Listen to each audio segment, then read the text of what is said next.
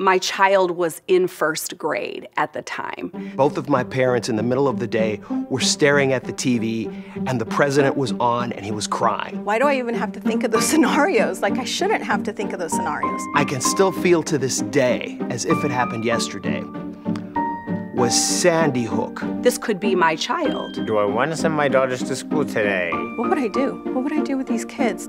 I felt I was a young mother when that story broke, and honestly, um, it broke my heart. And I don't think my heart has ever been full again. And I can't even imagine the families that had a loss. And I saw the look of pain on the teachers' faces who were so desperate themselves not to tell the children. We were all so desperate not to tell our children. You know, we want to find meaning.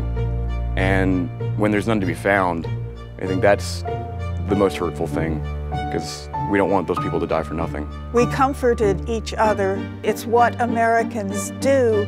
You don't get tired of something like that. You get bone weary. It comes up every day. I think about it. I think about that story and I, I just hope we don't forget.